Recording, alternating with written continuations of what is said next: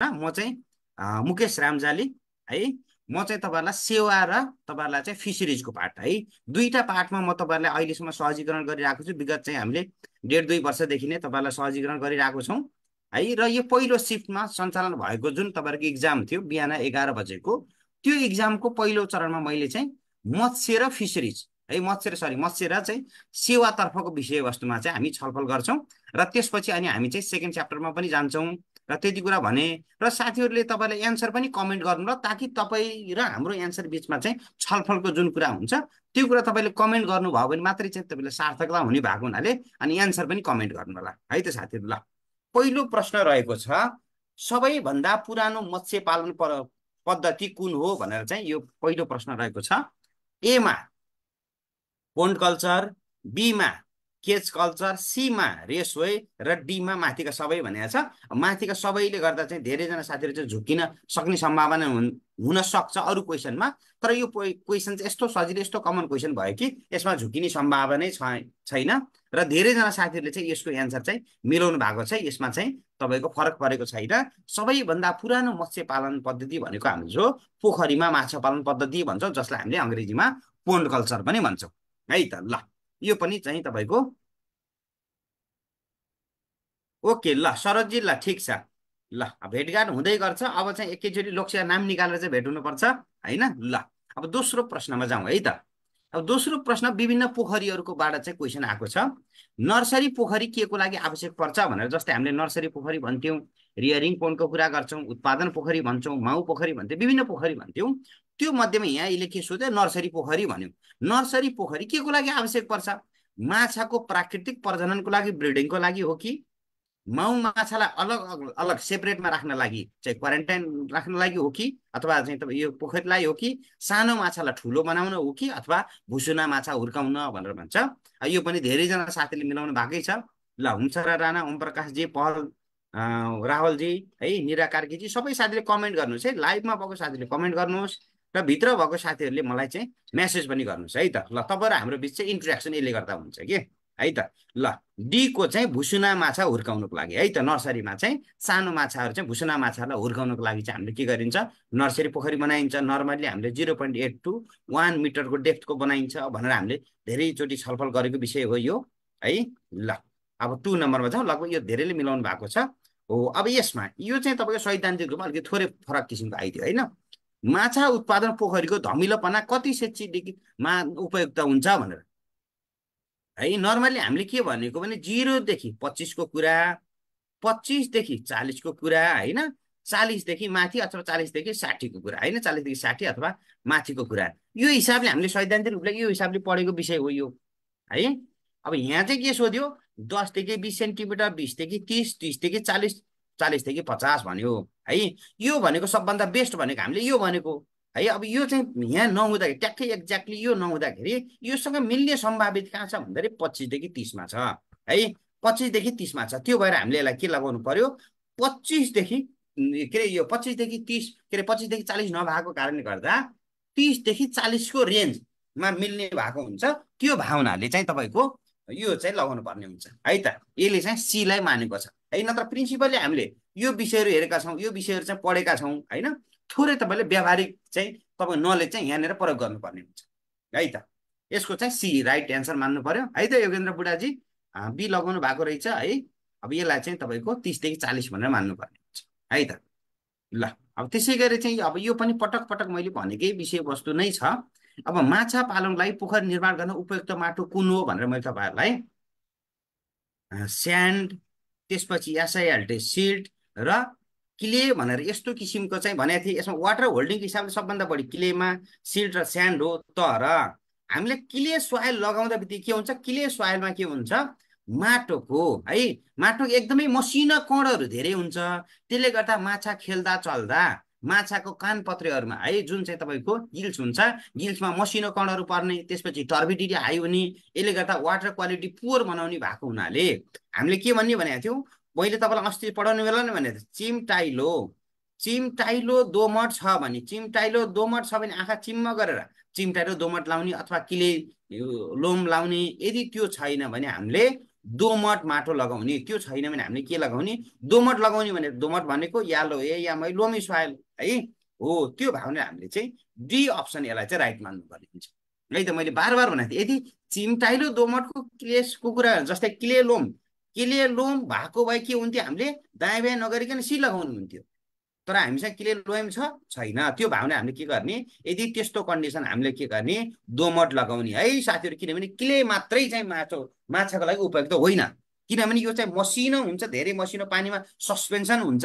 यसले गर्दा पानीको टर्बिडिटी हाई गराउने पानी धमिल लगाइदिने होइन? अनि यसले गर्दा माछाको चाहिँ तपाईँको पोखरी क्वालिटी पनि कम गराइदिने र माछाको गिल्सहरूमा पनि जाम हुने। यो समस्या देखिन्छ। है यो समस्या देखिन्छ त्यो भावना हामीले यसको केसमा चाहिँ दोमट लगाउनु पर्ने हुन्छ भनेर भनेको थिएँ। अब कतिजना साथीले याद गर्नुभयो कतिजनाले याद गर्नु भएन होइन? कतिपय कुराहरू चाहिँ अब याद हुँदैन पनि है? तर यो चाहिँ पटक पटक भनेकै विषयवस्तु हो है त? ल नेक्स्टमा जाउँ है? त्यसको राइट एन्सर डी मान्नुपर्ने हुन्छ।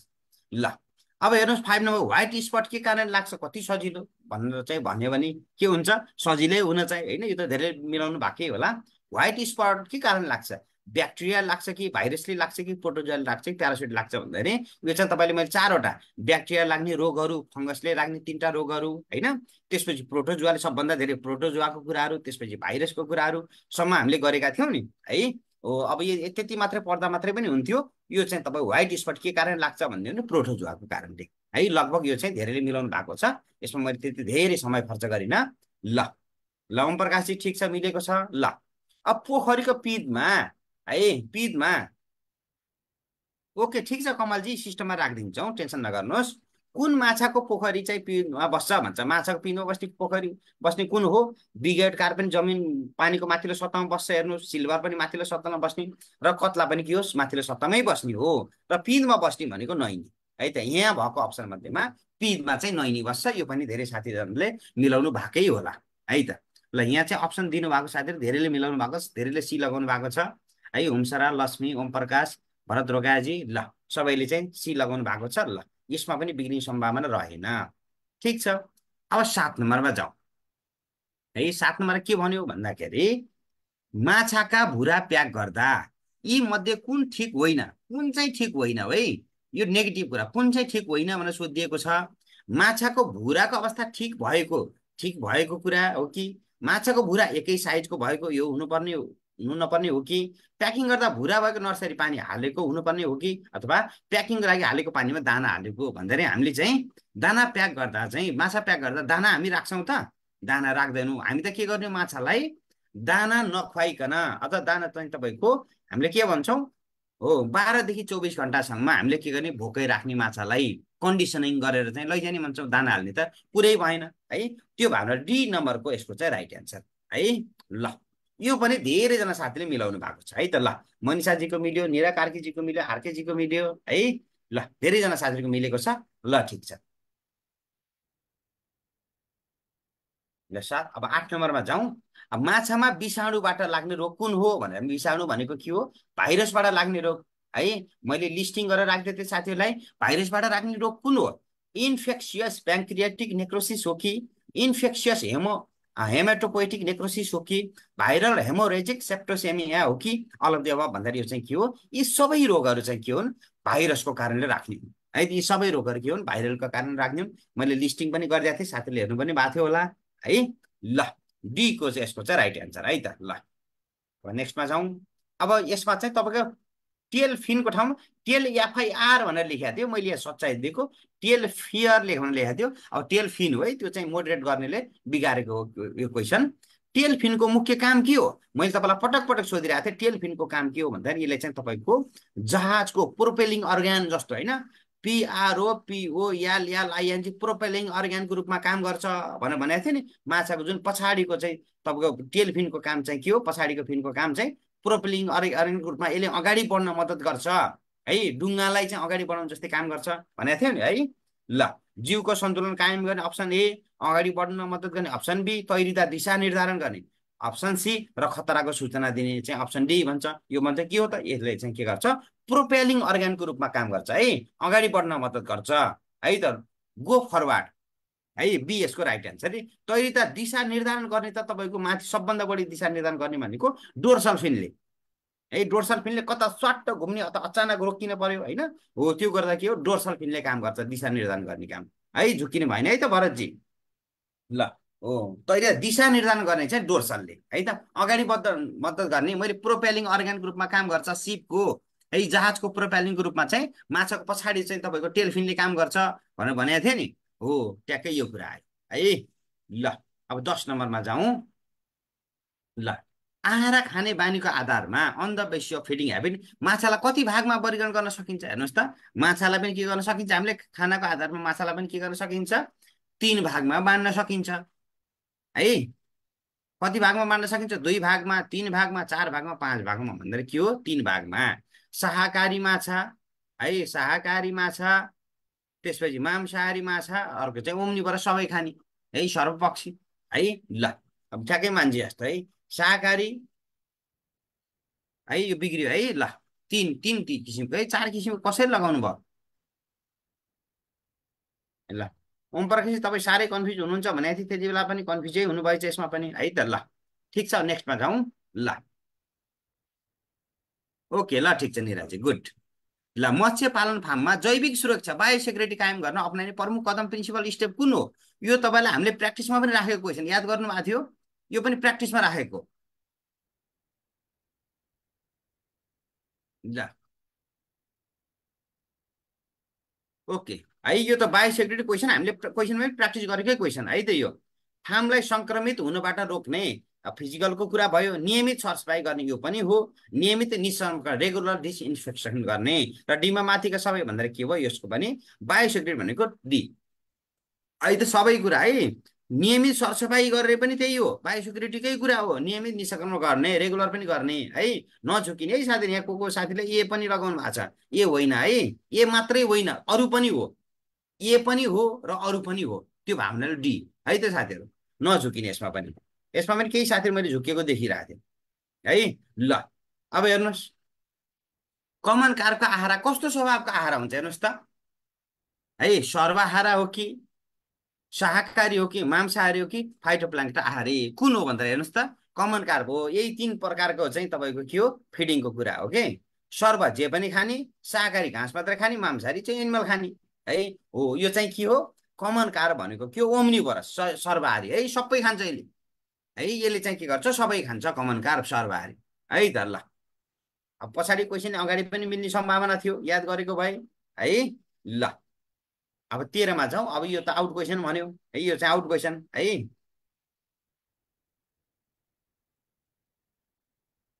हो सियो भ्यू। एकदम। Common carp omnivorous bottom feeder good एकदम राम्रो। है ल। ल नेपालको संविधानमा खाद्य सम्बन्धी हकलाई के अन्तर्गत राखिएको छ? खाद्य सम्बन्धी हक भनेको के हो? धारा सोह्रदेखि धारा छ्यालिससम्म एकतिसवटा के हुन्? मौलिक हक हुन् भनेर भने हो कि नै? है धारा सोह्रदेखि एकतिससम्म। यो मध्येमा धारा छत्तिसको एकदम महत्त्वपूर्ण कुरा खाद्य सम्बन्धी हकको कुरा यी भनेको के हो भन्दाखेरि मौलिक हकको कुरा। है ल मौलिक निर्देशक सिद्धान्त राज्यको दायित्व राज्यको नीति होइन? मौलिक हक भन्दाखेरि के हो? यो चाहिँ मौलिक हकको कुरा। यो पनि आउट क्वेसन है त। ल हेर्नुहोस्। अब सोह्रमा जाउँ। अब हेर्नुहोस् त यो तपाईँलाई मैले लास्ट दिनसम्म पनि हेराएको थिएँ। है लास्ट दिन मैले तपाईँलाई त्यो तिनवटा स्लाइडमा मैले यो पनि राखिदिएको थिएँ। पशुपन्छी तथा मत्स्य क्षेत्रबाट नेपालको जिडिपीमा कति पर्सेन्ट योगदान रहेको छ भनेर तपाईँलाई मैले निकाल्न पनि सिकाएको। कतिजनालाई याद छ? चौबिस पोइन्ट बाह्रको चौबिस पोइन्ट बाह्रको चौबिस point zero one three one divided by hundred गरेर यसको निकालिन्छ। यो गर्दा कति आउँछ? पाँच पोइन्ट सात पर्सेन्ट भनेर निकालेको थिएँ नि मैले। हो यो। है पाँच पोइन्ट सात पर्सेन्ट भनेर निकालेको थिएँ नि हो। अब यही हान्नुभयो। पशुपन्छी त मत्स्य क्षेत्र जिडिपीमा कति पर्सेन्ट योगदान रहेको छ भन्दा यो। है पाँच पोइन्ट सातको कुरा। अब त्यहाँ पाँच पोइन्ट सात ट्याक्कै छैन। है पाँच पोइन्ट सात ट्याक्कै छैन। अब छ पोइन्ट दुई पाँच पोइन्ट चार छ अब पाँच राखेको छ। है अब यो केसमा चाहिँ तपाईँको पाँच पोइन्ट चार पनि हुन सक्ने सम्भावना राख्यो तर यसले एक्ज्याक्ट ट्याक्कै के भनेर चाहिँ गरेन। है? त्यो भावनाले हुन चाहिँ के हो? पाँच पोइन्ट सात हो एक्ज्याक्टली है त्यो भावनाले यसले नियर एबाउट पाँच पोइन्ट सातकै रेन्जमा लगायो कि भन्ने चाहिँ लाग्छ मलाई। है यो एउटा सम्मान रहन सक्छ। अर्को चाहिँ पाँच सय सातलाई तपाईँ अर्को क्वेसनमा हेर्नु होला समग्रमा कति पर्सेन्ट गर्दाखेरि एक एक ठाउँ त्यहाँ चाहिँ सात पर्सेन्टवाला केस पनि आइरहेको छ अर्को क्वेसन यही क्वेसनमा हेर्नु होला है त्यो भएर यसको एक्ज्याक्ट के राख्यो भन्ने कुरा ट्याक्कै चाहिँ यसले राखेको छैन कि। यसले राखेको छैन त्यो भएर चाहिँ यो हुने सम्भावना पनि रहन्छ यो हुने सम्भावना पनि रहन्छ साथीहरू। है अहिले पछाडि एकछिनपछि अर्को क्वेसन हेर्नु ल त्यहाँ चाहिँ सात पर्सेन्टको हाराहारीमा चाहिँ छ। है अब यो चाहिँ ठ्याक्कै भन्न नसकिने अवस्था चाहिँ छ है साथीहरू। किनभने यस्तो फिफ्टी फिफ्टीवाला क्वेसन राख्छ। हुन चाहिँ यो हो हेर्नुहोस् चौबिस पोइन्ट बाह्रको चौबिस point zero one three one percentage हो हेर्नुहोस्। है यो चाहिँ। है अब त्यो भावनाले अब यसलाई ठ्याक्कै यही हो भनेर भन्न सक्ने अवस्था चाहिँ छैन। अब यो यसले छ पनि राखे हुनसक्छ पाँच पनि राखे हुनसक्छ। अब जहाँसम्म लाग्छ यसले चाहिँ छ नै राख्यो जस्तो लाग्छ मलाई। है फेरि छ पोइन्ट दुई पनि यहाँ लिइदियो त्यो भएर पनि अलिक कन्फ्युज बनाइरहेको छ। है जस्तै यो यो क्वेसन यही हो कि? अब चौबिस पोइन्ट बाह्र यो जिडिपीमा कन्ट्रिब्युसन गर्ने पशु पन्छीको पाँच पोइन्ट सात हो। अब यसको चाहिँ यो चौबिस पोइन्ट बाह्रको यही पर्सेन्ट गर्दा चाहिँ पाँच पोइन्ट सात आउने हो खास चाहिँ। माछा जेरो पोइन्ट छ यो क्वेसन हो तर ट्याक्कै त्यो चाहिँ आएको छैन कि? त्यो भावनाले हामीले ठ्याक्कै यति हो भनेर भन्न सक्ने अवस्था चाहिँ भएन है त। मैले त्यति कुरा भने ल। अब त्यही भएर मैले तपाईँ सत्तालिस प्लस भन्ने कारण चाहिँ किनभने दुई तिनवटा क्वेसनहरू त्यस्तै कन्फ्युजन क्वेसनहरू छन् कि है? ल अब जलचर संरक्षण दुई हजार सत्रको व्यवस्था बमोजिम तलको मध्ये कुन संरचना निर्माणमा फिस ल्याडर बनाउनु पर्छ भनिरहेको थिएँ फिस ल्याडर बनाउनु पर्छ फिस ल्याडर नबनाएको ठाउँमा मच्छी ह्याचरी बनाउनु पर्छ भनेर क्वेसनै राख्दै थिएँ नि मैले तपाईँहरूलाई। याद छ? एक्काइसवटा क्वेसन मध्येमा? हो। विद्युत आयोजनाको बाँध निर्माण गर्दा सिँचाइको लागि बाँध निर्माण गर्दा खानेपानी आयोजनाको बाँध निर्माण गर्दा र माथिका सबै भन्छ यी माथिका सबै केसमा यदि माछाको आवत जावतलाई अवरोध हुने अवस्था भयो भने त्यो केसमा हामीले के गर्नुपर्छ? फिस ल्याडर बनाउनु पर्छ यदि फिस ल्याडर बनाउन नसकेको अवस्थामा के गर्नुपर्छ? हामीले चाहिँ ह्याचेरी बनाइदिनु पर्छ त्यहाँको लागि भन्ने कुराहरू गरेका थियौँ नि। है त ल। डी यसको राइट एन्सर है त। र यसमा त्यति समस्या भएन। ल। यो पनि इजी नै क्वेसन भयो है। पशु बिमा गरिएको भए तापनि कस्तो अवस्थामा जोखिमको रक्षावरण हुँदैन कस्तो अवस्था रिस्क कभरेज हुँदैन?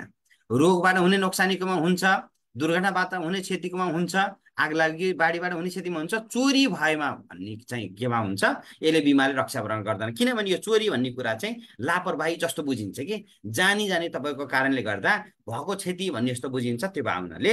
यस्तो क्षतिको भएको अवस्थामा हामीले के गरिन्छ? यसलाई चाहिँ बिमाले रक्षावरण गर्दैन। त्यसैले केमा रक्षावरण गर्दैन भने त चोरी भएमा हराइमा रक्षावरण गर्दैन। डिएसको चाहिँ राइट एन्सर है त? ल अब यहाँ हेरौँ। अब यो पनि साथीले केही साथीले यो बिगार्नु भएको मैले देखिएको छु है त? अब यहाँ हेरौँ। तलका मध्ये कुन उदाहरण समूह सम्पर्कको तरिका होइन? समूह ग्रुपको होइन भन्यो। है ब्लक प्रेजेन्टेसन है single package demo farm visit fair भन्छ है? हो साथीले के बुझ्नु पर्यो भने फार्म भिजिट मैले एउटा शब्द राखेको थिएँ F A R M farm and याचो yam home V I S I T visit यो चाहिँ के पर्छ भन्दा आइएनडिआई भिआई डियुएल इन्डिभिजुअलमा पर्छ। एकपटकमा एकजनासँग मात्रै गइन्छ कृषि पछाडको काम गरिन्छ। ब्लक प्रेजेन्टेसन प्रेजेन्टेसन भने के हो? अरू धेरैलाई देखाउने हो कि होइन single package demo single package demo पनि के हो? धेरैलाई देखाउने हो। फेयर भने के हो? पर्दछ नि। है फेयर भने पनि के हो? प्रदर्शनी प्रदर्शनी पनि के हो? मासमातिर गयो अथवा ग्रुपमै गयो। है त्यो भएर यो मध्येमा समूह सम्पर्क कुन तरिका होइन भने चाहिँ फार्म एन्ड होम भिजिट चाहिँ ग्रुप मेथड होइन। यो चाहिँ के हो? इन्डिभिजुअल हो। फार्म एन्ड होम भिजिट भनेको थियो नि कृषकको खेत तथा बारीमा भेटघाट भनेर हेर्नुहोस् त त्यहाँ। है कृषक तथा कृषकको घर तथा खेतबारीमा भेटघाट भनेको थियौँ नि हो त्यो केमा पर्छ? व्यक्तिगतमा पर्छ। अरू सबै केमा परे? ग्रुपमा परे? यो चाहिँ परेन। है त? सी यसको राइट एन्सर है नझुकिने साथीहरू। केही साथीहरू झुक्किनु भएको मैले देखेँ। है त? सिङ्गल प्याकेज डेमो भने डेमो भन्ने जहिले पनि अरूलाई देखाउने हो कि? देखाउने भन्दा बित्तिकै धेरै जान्छ नि त। एक वा एकभन्दा बढीमा जान्छ नि। हो दुई या दुईभन्दा बढीमा जान्छ नि। हो त्यो कुरा ख्याल गर्नुपर्ने हुन्छ कि? है त साथीहरू? नझुक्किने है। ल। अब वर्तमान अवस्थामा यो त आउट क्वेसन कतिचोटि सोध्यो होइन? वर्तमान अवस्थामा कृषि बिमाको प्रिमियमको कति पर्सेन्ट सङ्घीय सरकारले बेहोर्छ? यो क्वेसन राखेको क्वेसन पनि अगाडि आएको क्वेसन पनि हो एट्टी पर्सेन्टको कुरा। है यो त आउट क्वेसन हो। यो पनि बिग्रियो भने त बेइजत भयो होइन? अन्तर्राष्ट्रिय बेइजत हुन्छ भन्छ नि त्यस्तै। ल नेक्स्टमा जाउँ है त। अब यो पनि भट्टको भन्ने निजामती कर्मचारी वर्षमा कति दिन बिरामी बिदा पाउँछ? भनेको थिएँ नि मैले। क्याबी है क्याबी पर्व बिदा कति दिन? छ प्लस छ भनेर बाह्र दिन। घर बिदा कति पाउँछ वर्षको तिस दिन होइन? बिरामी बिदा कति पाइन्छ वर्षको बाह्र दिन क्रिया बिदा पन्ध्र दिन सुत्केरी बिदा चाहिँ तपाईँको अन्ठानब्बे दिन प्लस छ महिना होइन? लगायतका तपाईँलाई चाहिँ तपाईँको नौवटा बिदाको प्रकारको कुरा गरिएको थियो। बिरामी बिदा वर्षमा कति दिन पाउँछ भन्दा कर्मचारीले बाह्र दिन। है त बिरामी बिदा बाह्र दिन घर बिदा तिस दिन है? क्याबी पर्व बिदा छ प्लस छ गरेर बाह्र दिन है? अब किरिया बिदा पन्ध्र दिन सुत्केरी स्याहार बिदा पनि पन्ध्र दिन सुत्केरी बिदा पर्सुदी बिदा अन्ठाउन्न दिन प्लस छ महिना तल पनि थपिन्छ होइन लगायतका? यस्ता तपाईँलाई अध्ययन विधा लगायतका सबै कुराहरू मैले भनेको थिएँ। है यो त मिलाउनु भयो ठिक छ। धेरैजना मिलेको छ है ल। हो ख्याल गर्नुपर्ने है। अब एक्काइसमा हेरौँ। पशुपन्छी तथा मत्स्य क्षेत्रका विद्यमान समस्याहरू है। समाधान गर्न कसको भूमिका महत्त्वपूर्ण हुन्छ? हेर्नुहोस् त। पशुपन्छी तथा मत्स्य क्षेत्रका विद्यमान समस्याहरू समाधान गर्नलाई कसको चाहिँ भूमिका महत्त्वपूर्ण हुन्छ? सङ्घीय सरकारको प्रदेश सरकार स्थानीय तह माथि सबै हो। यो केसमा नझुकिने है त? ल कविताजी ट्याक्कै मिलाउनु भएछ निराजी मिलेको छ। हो। कुनै एउटा सरकारले मात्रै कृषि तथा पशुपन्छी क्षेत्रको वर्तमान समस्या समाधान गर्न सक्दैन। त्यो भएर तिनटै सरकारको महत्त्वपूर्ण छ। राष्ट्रिय लेभलमा सङ्घ सरकारले प्रदेश लेभलमा प्रदेश सरकारले र लोकल लेभलमा स्थानीय सरकारले आफ्नो ठाउँबाट चाहिँ के गर्नुपर्छ? भूमिका निर्वाह गर्नुपर्छ। त्यो भएर डी माथिका सबै यसको चाहिँ सही उत्तर। है त साथीहरू? डी माथिका सबै यसको सही उत्तर है? ढिलो किन जोइन भएको त कविताजी? अब पहिलो च्याप्टर सकिने सकिने लागेको छ। ठिक छ केही छैन। यो चाहिँ रेकर्डेडमा आउँछ अथवा मेरो युट्युब च्यानलमा पनि आउँछ। टेन्सन नगर्नुहोस् है टेन्सन गर्नु परेन। है त साथीहरू? ल। है ल एन्सर अब कमेन्ट गर्नुहोस्। तपाईँले कुन कुन के के लाउनु भएको छ? यहाँ पनि हामी छलफलको क्रममै छौँ। ल हो अब यो यो कतिजना मिलाउनु भयो भन्नुहोस् त। समिति गठन गर्न कतिवटा पशुपालन समूह आवश्यक पर्छ? दुईवटा तिनवटा चारवटा पाँचवटा। ल कविताजी गुड। ल। हो यो चाहिँ के हो भन्दाखेरि यो चाहिँ यसो कन्सेप्ट कतिजना साथीले बुझ्नु भएको छ त बुझ्नु भएको छैन। यो चाहिँ पहिला पहिला सिएलडिपी भन्ने एउटा प्रोजेक्ट हुन्थ्यो। त्यो प्रोजेक्टले पाँचदेखि दसजना कृषकहरूको चाहिँ के गर्ने कृषक चाहिँ समूह बनाउने काम गर्थ्यो कि? त्यसै समूह बनाउने र पचासजना कृषकहरू भयो भने पचासजना है? पचासजना कृषकहरू भयो भने पचासजना कृषकहरू मध्येबाट तपाईँको कम्तीमा चाहिँ पाँच एउटा चाहिँ समूहमा दसजनाको दरले यो दुई दुईजना लिएर चाहिँ के गर्ने? दुई दुईजना लिएर चाहिँ पाँचवटा समूहबाट इन्टु चाहिँ पाँच गरेर तपाईँको दसजनाको समिति बनाउने। है दसजनाको समिति बनाउने र समितिमा प्लस दस प्लस एकजना चाहिँ एक्स्ट्रा राखेर एघारजनाको समिति बनाएर त्यो कोर्डिनेसनको काम गर्ने भनेर चाहिँ यो सिआरडिपी प्रोजेक्ट अन्तर्गत यो प्र्याक्टिस चाहिँ भएको थियो। है त्यो भएर चाहिँ पाँचवटा है धेरैजना साथी मिलाउनु भएको छ। डी एकदमै ठिक छ है। ल कम्युनिटी लाइफस्टाइल डेभलपमेन्ट प्रोजेक्ट मार्फत चाहिँ आएको कुरा हो यो। है त? ल यहाँ हेरौँ। अब अर्को प्रश्न निजामतीको कुरा। निजामती सेवा ऐन दुई हजार उनपचासको व्यवस्था अनुसार उचित र पर्याप्त कारण भएमा उचित र पर्याप्त कारण भएमा निजामती कर्मचारीलाई दिन सक्ने विशेष सजाय कुन हो? दिन सक्ने विशेष सजाय भनेको दुई किसिमको सजाय होइन? विशेष सजाय भनेको एउटा चाहिँ सामान्य सजाय अर्को चाहिँ विशेष सजाय भने दुई किसिमको सजाय थियो नि हो। अब विशेष सजाय अन्तर्गत भविष्यमा सरकारी सेवा निम्ति अयोग्य नठहरिने गरी सेवाबाट हटाउने र अर्को चाहिँ भविष्यमा सरकारी सेवाको निम्ति अयोग्य ठहरिने गरेर जस्तै भ्रष्टाचार लगायत केस भयो भने के हुन्छ? यदि चाहिँ तपाईँको अदालतले फैसला गर्यो भने भविष्यको निम्ति अयोग्य ठहरिने गरी चाहिँ सेवाबाट हटाउने र सीमा माथिका सबै दुवै भनिएको छ कुनै पनि होइन भनेको छ यो चाहिँ दुवै किसिमको सजाय चाहिँ के पर्छ? विशेष सजाय विशेष सजाय अन्तर्गत चाहिँ पर्दछ। ठिक छ साथीहरू ल। अब त्यसपछि चौबिसमा जाउँ ल। राष्ट्रिय तथ्याङ्क कार्यालयको पछिल्लो तथ्याङ्क अनुसार नेपालमा कुन पशुको सङ्ख्या बढी छ? कुन पशुको सङ्ख्या बढी छ? हेर्नुहोस् त लेटेस्ट डेटा अनुसार गाईको कि भैँसीको कि बाख्राको कि बुङ्गुरको भन्दा के को? धेरैजना साथीहरूलाई थाहा छ। ल हो लेटेस्ट अनुसार पनि र चाहिँ पहिलाको डेटा अनुसार पनि के छ? बाख्राको है यो मध्येमा। गाई भैँसी बाख्रा बङ्गुरको कुरामा यसमा चाहिँ के छ? बाख्राको सङ्ख्या सबैभन्दा बढी छ। ठिक छ? ल अब हेर्नुहोस् त लुम्बिनी पर्दछ। यो क्वेसन पनि राखेकै क्वेसन है। मैले त्यहाँ चाहिँ तपाईँको मास्टरसम्म कुरा पनि राखेको थिएँ। लुम्बिनी प्रदेशको पशु स्वास्थ्य तथा पशु सेवा ऐनमा भेटनरी निरीक्षकको योग्यता कति तोकिएको हुन्छ भनेर। है प्राविधिक एसएलसी पशुपालन स्नातक भेटनरी डिप्लोमा चाहिँ पशुपालन स्नाकोत्तर पशु स्वास्थ्य। के भनिएको छ? भन्दाखेरि एटलिस्ट के हुनु पर्यो? हो सी है सी चाहिँ भेटनरी स्नातक। मैले तपाईँलाई लेखे पनि थिएँ बिबिएससी एन्ड एएच हुनुपर्छ है। कम्तीमा bachelor science in veterinary and animal husband husbandry पनि हुनुपर्छ भनेर भनेको थिएँ र चाहिँ तपाईँ दुवै पनि लगाएको थिएँ मैले है? एकदमै मैले तपाईँले क्वेसन पनि हेर्नु होला है? यो पनि पढाएकै ठ्याक्कै आएको छ।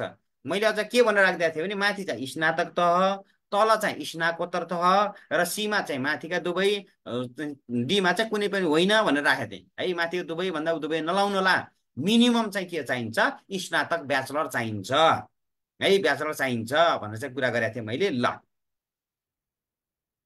स्नाकोत्तर स्नाकोत्तर चाहिँ अनिवार्य होइन कि मिनिमम चाहिँ यो ब्याचलर मिनिमम ब्याचलर हुनु पर्यो।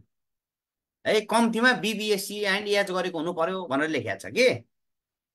है अब चाहिँ तपाईँ स्नाकोत्तर पनि हुन्छ हुन चाहिँ। यो नगरिकन यो त हुने कुरा त भएन तर मिनिमम के हो भन्दा मिनिमम योको कुरा हो कि। मिनिमम बिबिएससी एन्ड एच हुनु पर्यो भन्ने हो कि। म्याक्सिममको समस्या भएन तर मिनिमम चाहिँ के हो यो भनेर चाहिँ यसले एन्सर चाहिँ सी राखेको हो कि। है त। ल। यो पहिलो सिफ्टको कुरामा एउटा बाँकी रह्यो। यो चाहिँ तपाईँको नेपालको कहिलेसम्म दिगो विकासका लक्ष्यहरू हासिल गर्ने अन्तर्राष्ट्रिय प्रतिबद्धता जनाएको छ भन्छ यो दिगो विकासको कुरा दुई हजार पन्ध्रदेखि दुई हजार तिसको कुरा है? दुई हजार पन्ध्रदेखि दुई हजार तिसको कुरा एसडिजी भनेर सस्टेनेबल डेभलपमेन्ट गोलको कुरा गर्छौँ हामीले है? यो चाहिँ सी दुई हजार तिससम्ममा है त? ल यो पनि धेरैले मिलाउनु भयो होला।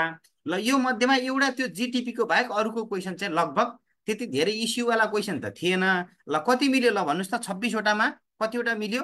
त्यो एउटा जिडिपीको कुरा चाहिँ स्टिल कन्फ्युजनमै राखौँ त्यसलाई।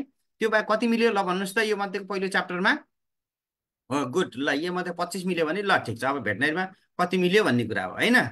ल चौबिस पच्चिस ल भने चाहिँ सेवा र उसमा चाहिँ मेरो योग्यता राम्रै रहेछ भनौँ। ल मैले तपाईँले पछि एन्सर हाइलाइट गरेर म राखिदिन्छु है। एन्सर हाइलाइट गरेर राखिदिन्छु। मैले यहाँ चाहिँ हाइलाइट गरेको चाहिँ हटिहाल्छ। मैले हाइलाइट गरेर छुट्टै वर्ड फाइलमा राखिदिन्छु। है त? ल बिस मिल्यो ल ठिक छ। ल अब उता स्वास्थ्यतिर के मिलिया छ? उता एलपिएमतिर के मिल्या त्यसले जनाउँछ। अब मैले यो तपाईँलाई सेकेन्ड सिफ्टको कुरा है? ल अब यो चाहिँ सेकेन्ड सिफ्टको दोस्रो सिफ्ट जुन चार बजे जुन तपाईँ पशु सेवा प्राविधिकको एलपिएम र डेरीको कुरा थियो र त्यसको कुरा पनि म छलफल गर्छु। त्यसपछि हाम्रो डाक्टर साहबले बाँकी कुरा चाहिँ फेरि तपाईँहरूलाई बाँकी चाहिँ डाक्टर साहबले चाहिँ अगाडि बढाउनुहुन्छ। है त? ल मैले दोस्रो सिफ्ट पनि सकिहाल्छु। ल। ल पैँतालिस बजे पनि आउन सक्ने सम्भावना रहन्छ। ठिक छ? ल दोस्रो सिफ्टको हेरौँ है त साथी। ल एक नम्बरमा माछा पोखरीको अम्लीय माटो सुधार गर्न के प्रयोग गरिन्छ? मैले तपाईँलाई भनेको थिएँ। सिएओ पनि प्रयोग गरिन्छ सिए सिओ थ्रीको कुरा पनि गरिन्छ C A O H whole by तिनवटा कम्बिनेसन राखेको थिएँ नि मैले तपाईँलाई होइन? हो। अब युरिया प्रयोग गरिन्छ कि जिप्सम प्रयोग गरिन्छ कि प्राङ्गारिक मल प्रयोग गरिन्छ कि चुना प्रयोग गरिन्छ भनेर के गर्ने? चुना लगाएर एक्ज्याक्टली है चुना क्याल्सियम अक्साइड है सिएओ प्रयोग गरिन्छ हामीले सिएओ प्रयोग गरिन्छ। जिप्सम के को लागि भन्दा जिप्सम छ्यारिए माटोको लागि। है जिप्सम के को लागि भन्दाखेरि छ्यारिए माटोको लागि जिप्सम प्रयोग गर्ने। अनि चुना चाहिँ यो चाहिँ तपाईँको अम्लीय माटो सुधार गर्न चुना प्रयोग गर्ने। है त चुना र प्राङ्गिरी मल पनि गर्न सकिन्छ र चाहिँ माथिको सबै आएको कन्डिसनमा चाहिँ यो यो र चाहिँ तपाईँको चाहिँ अरू पनि प्रश्न राखे भए चाहिँ के हुन्थ्यो? यो चाहिँ डी हुने सम्भावना रहन्थ्यो यसमा चाहिँ चुनाको कुरा भइहाल्यो। है त ल। अब यो पनि सजिलै प्रश्न। माछाको भित्र र बाहिरी अङ्गको पार्टबाट यो क्वेसन सोधिदियो होइन? माछाको कुन अङ्गले श्वास प्रश्वासमा सहयोग गर्दछ भन्छ। है माछाको कुन अङ्गले श्वास प्रश्वास सहयोग गर्छ? कत्लाले गर्छ स्केलले गर्छ कि गिल्सले गर्छ कि पखेटाले गर्छ कि फोक्सोले गर्छ भन्दा केले गर्छ? भन्दाखेरि यो माछाको श्वास प्रश्वास गर्ने भनेको गिल्सले है त यो त कमन इजी क्वेसन भयो। ल ठिक छ। सजिलो पनि दिनु पर्यो होइन? ल। हो।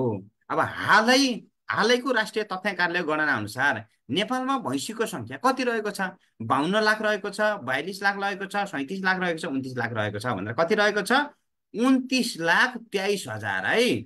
नझुक्किने है? यो हालैको लेटेस्ट डेटा अनुसार उन्तिस लाख तेइस हजार है? झुक्काउनलाई बाहुन्न राख्दै यो पाउन पुरानो डेटा है? अहिलेको तथ्याङ्कले निकालेको अहिलेको तथ्याङ्क निकालेको उन्तिस लाख तेइस हजार है त?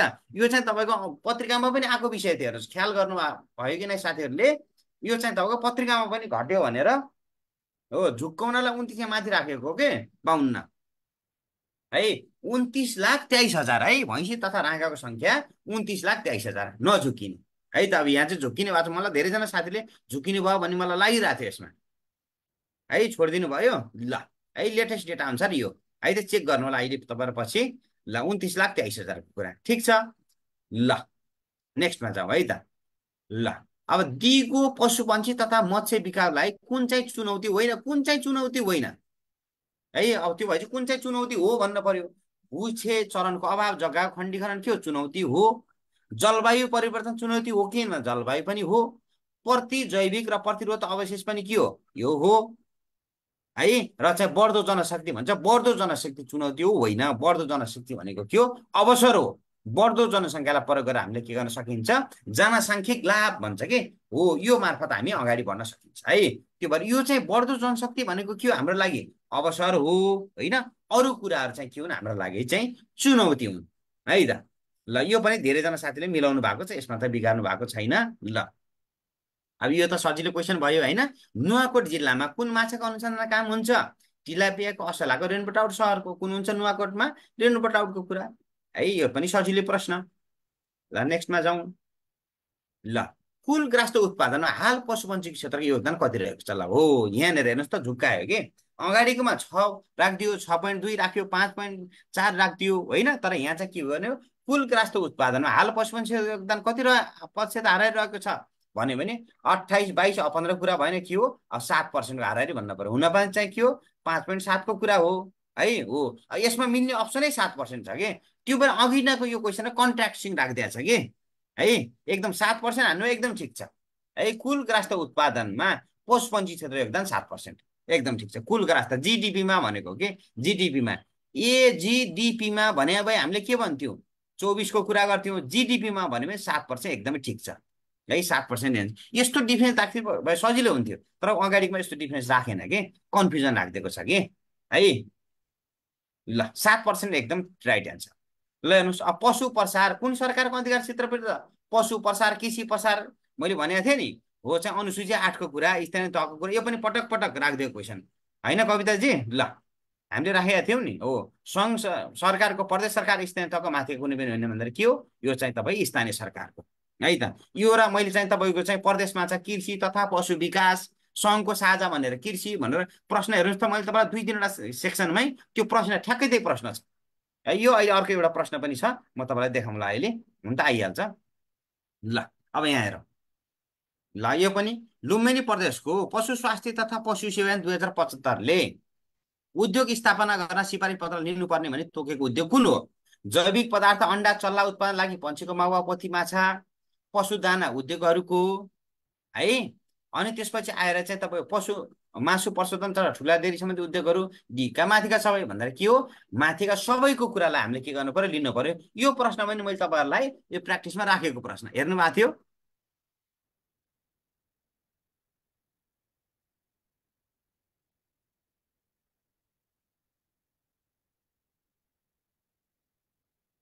है ल ट्याक्कै यो पनि त्यही प्रश्नबाट सोधेको कुरा है त। मैले तपाईँलाई बार बार तपाईँले सङ्घको सङ्घको कुराहरू सोध्नुहुन्थ्यो नि सङ्घको क्वेसन आउँदैन है। यो पशु स्वास्थ्य तथा सेवा लुम्बिनी प्रदेशकै आउँछ दाना पनि लुम्बिनीकै आउँछ सङ्घको नपढ्नुलाई पढ्न काम लाग्दैन भनेर चाहिँ मैले तपाईँले यो दुइटा मात्रै पढाएको थिएँ ठ्याक्कै त्यहीबाट मात्रै आएको छ। बाहिरबाट आएको छ छैन नि। है ल त्यसरी जजमेन्ट गरेर पढाउँछौँ नि त हामीले त्यो भयो हुनाले। ल ठिक छ ल हेर्नुहोस् त अब त्यही कुरा आएको हो यही कुरा राखिदिएको मैले तपाईँलाई। यो जैविक पदार्थ अन्डा चल्ला उत्पादन लागि पन्छी माउ पोथी माछा पशु पाल्ने गरी पशु दाना मासु पशुधनको कुराहरू होइन यही क्वेसनबाट आएको कुरा हो। ल। अब यो चाहिँ तपाईँहरूले कतिको नोटिस गर्नु गर्नु भन्न त एकचोटि भनेको हो है। लुम्बिनी प्रदेश अन्तर्गत कतिवटा विभोजन प्रयोगशालाहरू छन् भन्दा टोटल प्रयोगशालाका चारवटाको कुराहरू गरिएको थियो र चाहिँ एउटा पशुपन्छीको कुरा पनि गरिएको थियो होइन। हो विभोजन प्रयोगशालाहरू चाहिँ तपाईँको दुईवटा है। एउटा चाहिँ तपाईँ विभोजन प्रयोगशाला चाहिँ एउटा चाहिँ भैर हावामा है। अर्को चाहिँ खजुरा अर्को चाहिँ खजुरा बाँके। है खजुरा बाँके दुईवटा चाहिँ विभोजन प्रयोगशाला छ यो उसमा। है छोडिदिनु भयो दुईवटा हो थियो अब चाहिँ के गर्नु? है सर यसो हेर्नु भएको पनि हुने है भैरुवा र खजुरो बाँकी गरेर दुईवटा है त यो। दुईवटा प्रयोगशालाको कुरा। यो दुईवटा प्रयोगशाला यहाँको कुरा भयो त्यसपछि आएर चाहिँ तालिम केन्द्र एउटा खजुरामा त्यसपछि आएर बाली संरक्षण प्रयोगशाला पनि चाहिँ खजुरामा होइन? त्यसपछि आएर चाहिँ माटो परीक्षण प्रयोगशाला गरेर पनि कतिवटा दुई प्लस दुई गरेर यो चाहिँ चारवटा प्लस चाहिँ भेटनरीको एउटा चाहिँ पशु अन्वेषण रोग प्रयोगशाला भनेर चाहिँ नवलपरासीमा गरेर चाहिँ टोटल प्रयोगशाला के हो? लुम्बिनी प्रदेशको पाँचवटा हो भनेर भनेको हो। अब चाहिँ अब झटारो पनि मिलेछ। ल ठिक छ ल। भने लक्षण राम्रै छ है झटारो मिल्दा पनि ल। नेक्स्टमा जाउँ। लुम्बिनी प्रदेशको बाँकी जिल्लामा खजुरामा रहेको फार्म कुन प्रजातिसँग सम्बन्धित छ? खजुरामा कुन फार्म छ? बाख्राको छ कि गाईको छ कि छ कुखुरा छ भने कुखुरा विकास फर्म। है के छ? खजुरामा कुखुरा विकास फर्मको कुरा। है त? ल। नेक्स्टमा जाउँ एघारमा जाउँ। हो यो पनि तपाईँलाई मैले उसमा क्वेसनमा हेर्नु होला मैले संविधानको पाठमा यो पनि राखिदिएको छु है। नेपालको संविधानमा कृषि तथा पशु विकास कुन सरकारको अधिकार पर्छ? कृषि तथा पशु विकास भन्यो भने के पर्छ? यो चाहिँ तपाईँको प्रदेशको अधिकार। है? भनिरहेको थियो त्यहाँ क्वेसन गरेर हेर्नु होला साथीहरूले। है?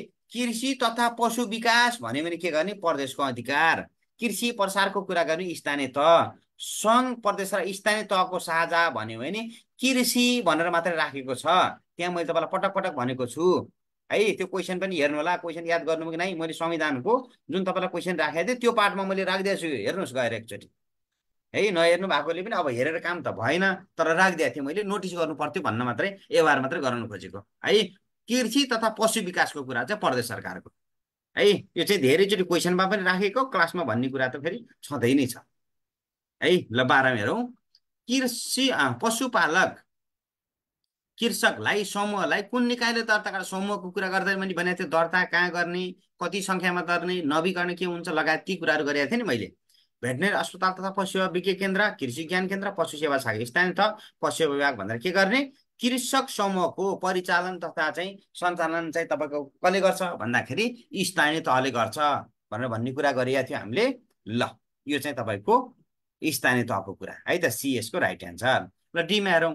नेपालको कुल भूभाग मध्येमा है कति पर्सेन्ट चरण क्षेत्र रहेको छ भनेर मैले लास्ट दिनमा साथीहरूलाई क्लासमा कृषि डायरी है क्लासमा कृषि डायरी भनेर हामीलाई चाहिँ अरू चाहिँ इम्पोर्टेन्ट छैन। यो चाहिँ एक्काइस प्लस सातको त्यसपछि आएर वनको कुरा चाहिँ हामीलाई चाहिएन। यो चाहिँ यो चाहिँ उसको के चाहिँ चरणको चाहिँ चाहिन्छ है भनेर भनेको थियो नि। बाह्र पर्सेन्ट हाम्रो चाहिँ फिजिकलको साथी कतिजना जोइन हुनुहुन्छ? ल फिजिकल साथी यो मैले क्लासमा भन कि याद छ कि छैन? ल भन्नुहोस् त लास्ट दिन लेख्नुहोस् है लेख्नुहोस्। यो चाहिँ आउँछ है। सम्झिनु तपाईँलाई हामीलाई अरू इम्पोर्टेन्ट छैन बाह्र पर्सेन्ट इम्पोर्टेन्ट छ है भनेको। है ठ्याक्कै यो कुरा सोधिदियो। ल। बाह्र पर्सेन्टको कुरा भयो। ल यता जाउँ। नेपालमा एक गाउँ एक उत्पादन कार्यक्रम कहिलेदेखि सुरु भयो? यो चाहिँ तपाईँको दुई हजार त्रिसठी कुरा भइ नै हाल्यो। है त? ल दुई हजार त्रिसठी कुरा। है एक गाउँ एक उत्पादन कार्यक्रम। One village one product OVOP भन्थ्यो कि? ओभिओपी कार्यक्रम कहिलेबाट सुरु भन्थे? दुई हजार त्रिसठीबाट। है त? ल यो पनि धेरै मिस्टेक भएको छैन। ल अब यो यो पनि तपाईँको क्वेसनमा हेर्नुहोस् त्यो क्वेसन गएर हेर्नुभयो भने देख्नुहुन्छ तपाईँले। ए सरले क्वेसन राखिदिनु भएको थियो नि भनेर भन्नुहुन्छ कि? ए यो क्वेसनमै राखिदिएको क्वेसन। लुम्बिनी प्रदेशको दाना पदार्थ दुई हजार पचहत्तर अन्तर्गत बनेको वा जारी गरेको नियम वा आदेशलाई उल्लङ्घन गर्ने व्यक्तिलाई पहिलो पटक तोकेको दण्ड र सजाय बाबत जरिमाना कति गरिन्छ? पहिलो पटक भन्यो भने के हो? पाँच हजारदेखि पच्चिस हजारसम्म। दोस्रो पटकदेखि के हुन्छ? प्रत्येक पटक पच्चिस हजार रुपियाँदेखि पचास हजारसम्म होइन यही कुरो यही कुरा हो। है ल। यसको पनि ए यसको चाहिँ राइट एन्सर ठिक छ? ल नेक्स्टमा जाउँ। सोह्रमा जाउँ। हो नेपालको अर्थतन्त्र समग्र कृषि क्षेत्रको योगदान कति पर्सेन्ट रहेको छ कृषि क्षेत्रको योगदान कति पर्सेन्ट हो? चौबिस पोइन्ट बाह्रको कुरा हो। चौबिस पोइन्टमा यहाँ बाह्र छ छैन। त्यो भएर के छ? पच्चिस छ। भनेपछि के लगाउने? हामीले पच्चिस लगाउने। है त? ट्याक्कै यस्तो यस्तो राउन्ड फिगरमा दिएको छ कि कोही क्वेसन राउन्डमा दिएको छ। कोहीको चाहिँ त्यस्तो चाहिँ अब छ पोइन्ट दुई छ पाँच पोइन्ट चार यस्तो दिएको छ कि? है? त्यो भावना अलिकति कन्फ्युजनै छ कि क्वेसनहरू है त यस्तो दिए त सजिलो हुन्छ हेर्नुहोस्। है ल यो चाहिँ पच्चिस पर्सेन्ट भइए नै हाल्यो। ल मत्स्यको न्यूनतम गौराई यो चाहिँ ट्याक्कै जे हो त्यही सोध्या छ है। मत्स्य पोखरीको न्यूनतम गराइ कति हुनुपर्छ पोखरी लागि? भन्दा हामीले एकदेखि वान पोइन्ट फाइभ भन्छौँ। तर कहिलेकाहीँ एक्ज्याक्ट कुरा आयो भने वान पोइन्ट टू गर्नलाई भनेर चाहिँ भनेको थियो नि क्लासमा पनि।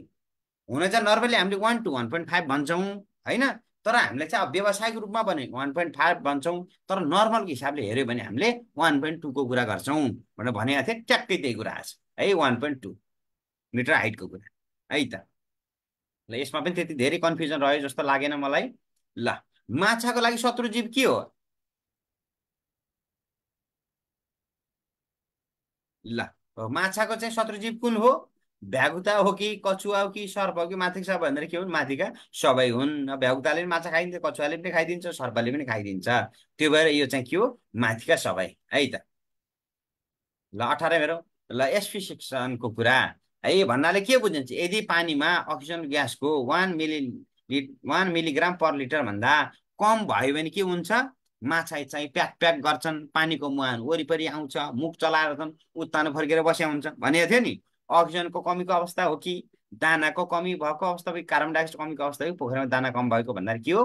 अक्सिजनको कमी भएको अवस्था। यदि पन्ध्र मिलिग्राम यदि पन्ध्र मिलिग्राम पर लिटर भन्दा बढी भयो भने के हुन्छ? ग्यास बबल डिजिज हुन्छ भनिएको थियो। कम भयो भने के हुन्छ? एस्पिसिक्सन हुन्छ भनिएको थियो। है? ल यो कुरा। ठिक छ यो पनि धेरैले मिलाउनु भएको छ। यसमा त समस्या छैन। ल उन्नाइस बिसमा हेरौँ। ल हेर्नुहोस् त। हाँस र माछा पालन गर्दा उपयुक्त हाँसको जात के हो? होइन पढाएर भनिएको थिएँ नि याद छ तपाईँलाई मैले हाइलाइट गरेँ कि मैले यहाँ राखिदिएको? सत्ताइस अठाइस सालमा हङ्गेरीबाट पेकिङ जातको सेतो हाँस आयात गरियो र हाँससँगै माछा पालनको नेपालमा सुरुवात भयो भनेर चाहिँ भनेको थियो नि। है? हो पेकिङ हङकङ क्रस खाकी क्याम्बेल माथि सबै हुन्छ यो चाहिँ तपाईँको उपयुक्त हाँसको जात भनेको पेकिङ जात। है पेकिङ है यो चाहिँ हङ्गेरीबाट ल्याएर पेकिङ जातको चाहिँ सुरु गरेको। है त?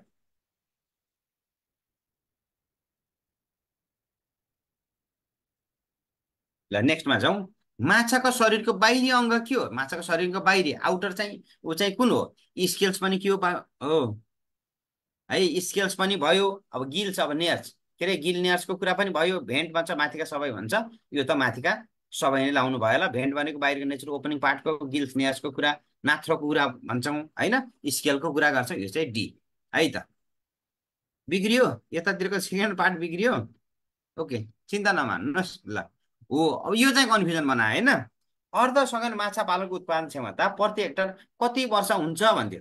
है प्रति हेक्टर कति वर्ष कति हुन्छ? नर्मल्ली हामीले अर्ध सघनको कुरा गर्दाखेरि तिनदेखि दस मेट्रिक टन पर हेक्टर उत्पादनको कुरा गर्छौँ। है तिनदेखि दस मेट्रिक टन पर हेक्टरको कुरा गर्छौँ हामीले। है हो अब यहाँ चाहिँ के छ? तिनदेखि दस छ छैन। तर नेपालको केस है नेपालको केस हेर्नुहुन्छ नि एभरेज चाहिँ हामीले फाइभ पोइन्ट फोरको कुरा अथवा फाइभ पोइन्ट फाइभको प्रोडक्सनको कुरा गर्छौँ। र नेपालमा धेरै हामीले के गर्छौँ? अर्ध सघनै गरेका छौँ। है त्यो भएर पाँचको वरिपरि अथवा चाहिँ हेर्दाखेरि तिनदेखि छ पाँचदेखि सात सातदेखि नौ नौदेखि दस भन्छ। पाँचदेखि सात भन्दा चाहिँ के हो? तिनदेखि छ यसको चाहिँ उपयुक्त एन्सर हो जस्तो चाहिँ लाग्छ है मलाई। अब हुन चाहिँ के हो? हामीले तिनदेखि दसकै हो रेन्जमा पढेको। तर यो मध्येको उपयुक्त एन्सर भनेको तिनदेखि छ टन हुनसक्छ। है त सम्भावित है खासमा। त्यही भने मैले। है किनभने तिनदेखि छ भनेको पाँच पोइन्ट चारको रेन्जमा आउँछ र नेपालको कन्टेक्स्ट हेऱ्यो भने यो नै यसको चाहिँ उपयुक्त एन्सर हो। है त मलाई चाहिँ त्यो लाग्छ। है त ल अब बाँकी त लोकसेवा कुरा छँदैछ अब हामी त भगवान् त होइनौँ हेर्नुहोस्। होइन? ल हो यो क्वेसन पनि धेरैचोटि डिबेट भएको क्वेसन है। साथीलाई मैले क्लासमा पनि भनेको थिएँ है। सोधिरहनु पनि भएको थियो साथीहरूले। कन्फ्युजन पनि हुनुहुन्थ्यो। है माछाको तयारी दानामा पौष्टिक तत्त्व सबैभन्दा बढी कुन हुन्छ? है कार्बोहाइड्रेट प्रोटिन फ्याट भिटामिन्सको कुरा गर्दाखेरि सबैभन्दा जस्तै हेर्नुहोस् है माछाको प्रोटिन भनेको बिसदेखि पच्चिस पच्चिसदेखि तिस होइन? हामीले रेन्ज यही त हो तिसदेखि पैँतिस भनेर भन्यो भने मान्नुहोस् न यदि तिसदेखि पैँतिस प्रोटिन हो भने बाँकी के हो त? बाँकी सत्तरीदेखि सत्तरीदेखि पैँसठी पर्सेन्ट के हो त? फ्याट हो भिटामिन हो हो होइन? त्यो भएर माछाको तयारी जान पौष्टिक तत्त्व सबैभन्दा बढी कुन हुन्छ भन्दाखेरि यो चाहिँ के हो? कार्बोहाइड्रेट हो के? बाँकी पर्सेन्ट के हो? कार्बोहाइड्रेट हो। त्यो भएर यसको एन्सर चाहिँ के हो? कार्बोहाइड्रेट हो है। माछाको तयारी दानामा पौष्टिक तत्त्व सबैभन्दा बढी। है महत्त्वपूर्ण तत्त्व भन्यो भने महत्त्वपूर्ण मैले भनेको थिएँ त्यति बेला पनि। महत्त्वपूर्ण कम्पोनेन्ट भन्यो भने चाहिँ हामीले के गर्ने? प्रोटिनको कुरा गर्नु पर्यो मेजर। है तर नर्मली कार्बोहाइड्रेट चाहिँ नापिँदैन। तर हुन चाहिँ के हुन्छ? कार्बोहाइड्रेट चाहिँ बढी हुन्छ। है त मेजर फङ्सन चाहिँ के हो? हामीलाई प्रोटिन चाहिँ बेसिक हो कि? प्रोटिन चाहिँ हुनु पर्यो आधारभूत चाहिँ हुनु पर्यो प्रोटिन। है तर धेरै चाहिँ के हुन्छ भन्दा कार्बोहाइड्रेट चाहिँ धेरै हुन्छ। के है त? ठिक छ यो त क्लासमा पनि मैले पटक पटक छलफल गराएको थिएँ। त्यो कविताजी याद भयो कि नै तपाईँलाई? मैले भनेको थिएँ। है त ओम प्रकाशजी? ल नझुकिने भनिरहेको थिएँ है। महत्त्वपूर्ण कम्पोनेन्ट भनेको प्रोटिन है। मोस्ट इम्पोर्टेन्ट कम्पोनेन्ट भनेको प्रोटिन। तर धेरै मात्रामा कुन हुन्छ भन्दाखेरि यो। किनभने हेर्नुहोस् त माछाको प्रोटिन भने त बिसदेखि पच्चिस पर्सेन्ट पच्चिसदेखि तिस तिसदेखि पैँतिसको कुरा हो। यदि रेनबो ट्राउटै कुरा गर्नुहुन्छ भने चालिसदेखि पैँतालिस पर्सेन्ट न हो। बाँकी पचास पर्सेन्टभन्दा बढी त के छ? कार्बोहाइड्रेट नै हुन्छ हेर्नुहोस्। है यो कुरा ल यो चाहिँ ल अब नेपालको कुल माछा उत्पादनको है कुल माछा उत्पादनको प्राकृतिक जलाशयबाट समातिने माछा क्याप्चर फिसको चाहिँ योगदान कति पर्सेन्ट छ है दस पर्सेन्ट बिस पर्सेन्ट पच्चिस पर्सेन्ट तिस पर्सेन्ट यो चाहिँ ट्याक्क मैले फर्स्ट च्याप्टरको तपाईँलाई डाटामा राखिदिएको थिएँ डाटाकोबाट सोधेको। है यो चाहिँ ट्याक्क यो चाहिँ बिस पर्सेन्ट है नर्मली उताको सत्तरी पर्सेन्ट बिस पर्सेन्ट र दस पर्सेन्टको कुरा गरेर पढेको थियो नि हामीले। है सत्तरी पर्सेन्ट चाहिँ पोन्डबाट बिस पर्सेन्ट चाहिँ क्याप्चर कुरा दस पर्सेन्ट चाहिँ फिस कमवाला योवाला घोलवाला कुरा गरिएको थिएँ नि। हो त्यसको कुरा। है त ल बिस पर्सेन्ट है। यो चाहिँ याद गर्नु भएन मैले तपाईँलाई यहाँ पनि राख्दै यो हेर्नुहोस् त। है यहाँनिर अर्को पनि महत्त्वपूर्ण कुरा छ है। अहिले तपाईँलाई एउटा प्रश्न आउँछ तल यो चाहिँ बिस पर्सेन्टको कुरा। है क्याप्चर्ड फिसबाट है river lake reservoir marginal swamp यो ल्यान्डबाट के हो टोटल बिस पर्सेन्ट कन्ट्रिब्युसन गर्छ भनेर यो कुरा है। हो अब अर्को तपाईँलाई के गर्छ यो लेक्स र रिजर्भरको चाहिँ टोटल कन्डिसन कति छ एरिया कति छ भनेर यो पाँच हजार प्लस यो गरेर कति हो पैँसठी सय है। पाँच हजार प्लस यो गरेर कति हो पैँसठी सय यो क्वेसन चाहिँ अर्को क्वेसनमा छ है यही डाटाबाट सोधेको कुरा।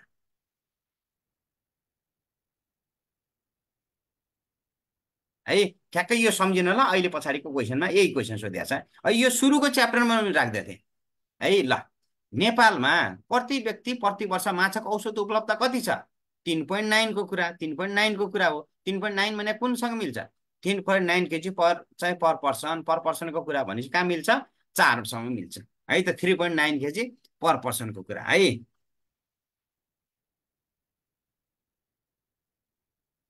ल। अब यो है त नेपालमा माछा पालनको लागि सम्भाव्य प्राकृतिक ताल तल्या लेक तथा जलाशयहरूको कुल क्षेत्रफल कति रहेको छ भनेर? पाँच हजार पैँसठी सय सात हजार पाँच सय नौ हजार। अगाडि भर्खर मैले देखाएको थिएँ नि पाँच हजार प्लस पाँच हजार प्लस पन्ध्र सयको कुरा गर्दाखेरि के भयो?